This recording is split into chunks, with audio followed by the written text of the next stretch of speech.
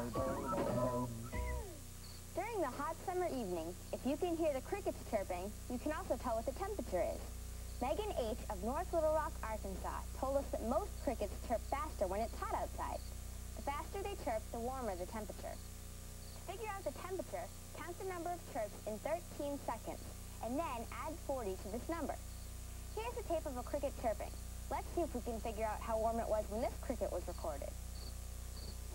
Okay, ready? Here I go.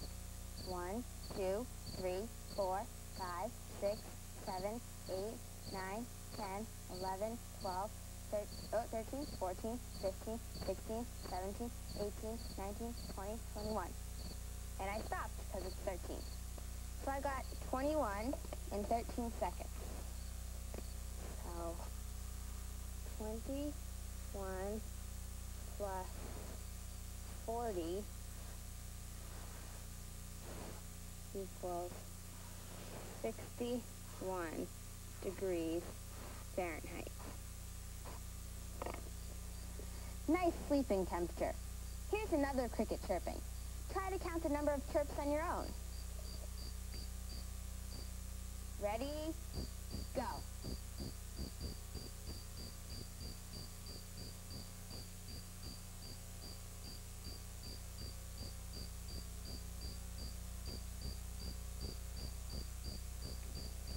Stop. Did you get about 34? So now we have 34